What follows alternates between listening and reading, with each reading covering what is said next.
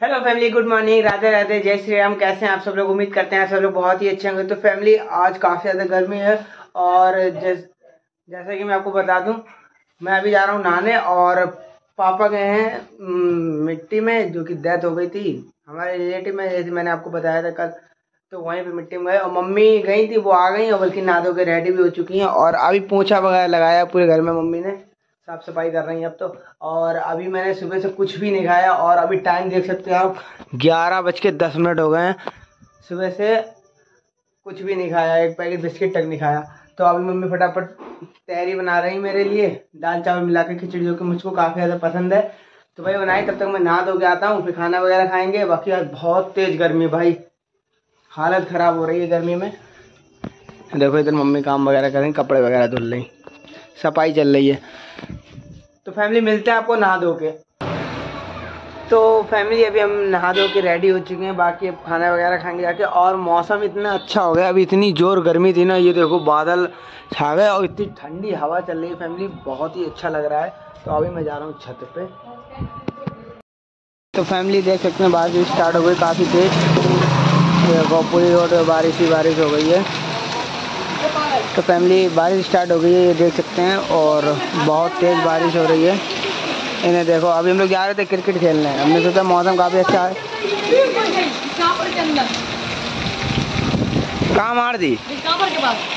बिचकापर के पास मार दी हमने, ले भाई, बारिश देखो, और हवा भी चल रही है। तो अभी हम लोग प्लान बना रहे थे मैच खेलने का। बट बारिश स्टार्ट हो गई। अब बहुत ही मुश्किल है जा पाएँ। तो फैमिली भी खाना वगैरह खा लिया और अभी जा रहे हैं थोड़ा सब्ज़ी वगैरह लेने घर के लिए। सब्ज़ी वगैरह नहीं है तो बाइक नीचे खड़ी है। चलते हैं मार्केट तक। फैमिली अभी थोड़ी देर पहले ही तेज़ बारिश हो रही थी, अब देखो। सूरज देवता निकला है। इतनी तेज़ धूप हो रही है ना भाई साहब। अभी बहुत जो बारिश हो रही थी, अब धूप निकल आई।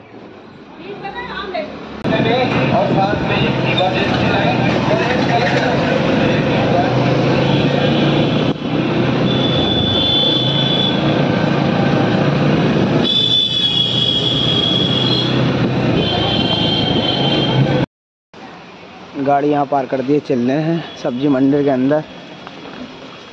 चल रहे हैं अभी हम लोग सब्ज़ी मंडी के अंदर, ये देख सकते हैं।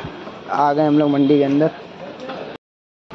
फैमिली सब्ज़ी वगैरह ले ली और अब निकल आए सब्ज़ी मंडी से बाहर।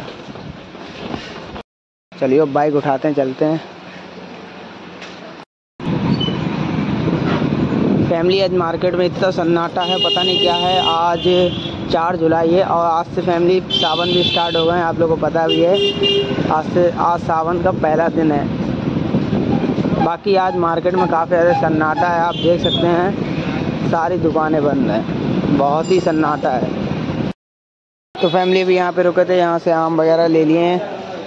तो फैमिली अभी हम लोग निकल चुके हैं वापस घर के लिए और जैसा कि आपको पता है, आज चार जुलाई है और आज से ही सावन स्टार्ट हो गए हैं। बट अभी हम मंदिर वगैरह नहीं जा सकते क्योंकि अपने फैमिली मेंबर में किसी की डेथ हो गई, इसलिए तो तेरह दिन तक अभी मंदिर वगैरह नहीं जा सकते, गर्मी के लिए ना, इसलिए तो जैसे ही तेरह दिन देखेंगे, उसके बाद फिर हम लोग मंदिर वगैरह जाना स्टार्ट करेंगे। फाइनली फैमिली पहुँच गए घर सामान लेके।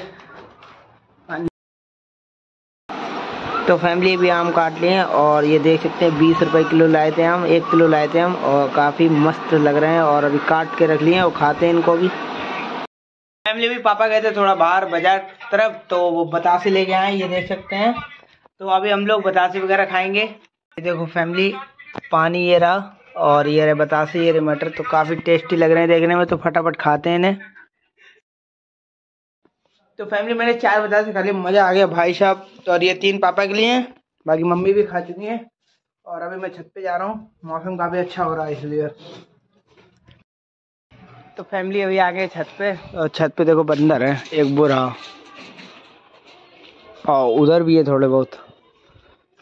तो बारिश की वजह से यहाँ पे फिर से पानी भर गया है, और मौसम एकदम सुहाना हो गया है, बादल देख सकते हैं। भाई साहब, बहुत ही मज़ा आ रहा है। यहाँ से देखो, पापा देखेंगे। ये बेटे बहुत अच्छा लग रहा है, काफ़ी अच्छा मौसम है, ठंडा, और हवा वगैरह भी चल रही है, बहुत ही अच्छी। तो फैमिली आई होप आपको ये वाला ब्लॉग पसंद आया। पसंद है तो वीडियो को लाइक कर दें चैनल पर तो चैनल को भी सब्सक्राइब कर दें। मिलते हैं नेक्स्ट ब्लॉग में। Thanks for watching bye